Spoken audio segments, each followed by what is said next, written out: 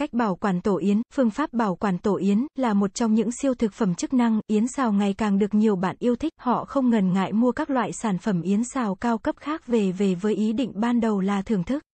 Không ngờ, vì không biết tiết kiệm nên món yến xào đắt tiền trở nên nhạt nhẽo, vô vị. Vậy đến đây câu hỏi bảo quản yến xào như thế nào?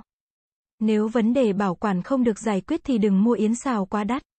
Cách bảo quản yến xào được chia làm hai loại, một loại là tổ yến khô và một loại là tổ yến ướt, bảo quản tổ yến khô, cách một, có thể đặt tổ yến khô ở nơi thoáng mát, tránh ánh nắng trực tiếp.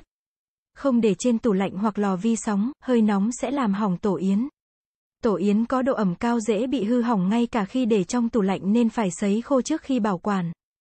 Tổ yến ẩm được thổi dưới điều hòa qua đêm, hơi ẩm sẽ biến mất. Nếu thấy nấm mốc có nghĩa là nó đã hỏng, nên bỏ đi và không nên ăn. Cách 2, việc bảo quản tổ yến khô tương đối đơn giản, do chưa được trưng cách thủy nên sau khi mua tổ yến về, bạn hãy xé thành sợi tùy theo mức tiêu thụ hàng ngày. Sau đó, từng lượng yến ăn được được buộc bằng ni lông và bọc lại. Sau đó cho tất cả yến xào đã buộc vào hộp bảo quản tươi lóc. Mà còn dễ thối, cách bảo quản tổ yến ướt. Tổ yến ướt là loại tổ yến đã được ngâm nước.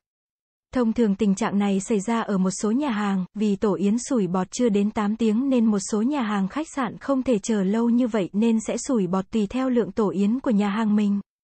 Đây được gọi là cách bảo quản tổ yến ướt. Cách làm tương tự như đối với tổ yến khô. Nhưng nhớ rút hết nước trước khi bó lại và cho vào tủ lạnh. Mặc dù loại tổ yến ướt này có thể để được hơn một năm nhưng các chuyên gia vẫn khuyến nghị các nhà hàng phải xác định được lượng tiêu thụ của chính khách hàng, không gửi quá nhiều một lúc. Tổ yến nếu lấy ra khỏi tủ lạnh thì phải ăn hết, không được cho vào tủ lạnh để đông lại, ngoài hai cách trên, còn cách bảo quản yến xào nào nữa không? Đó là bảo quản tập trung. Có nghĩa là, sản phẩm yến xào mua về không qua chế biến, thậm chí không mở bao bì, cho trực tiếp vào tủ lạnh.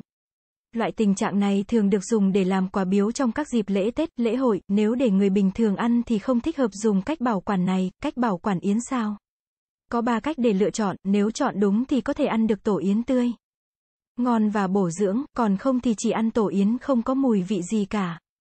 Cần lưu ý rằng tổ yến để trong tủ lạnh phải đậy kín và bảo quản, không được để tủ lạnh dưới ánh nắng mặt trời sẽ ảnh hưởng đến nhiệt độ đã được điều chỉnh bên trong tủ lạnh.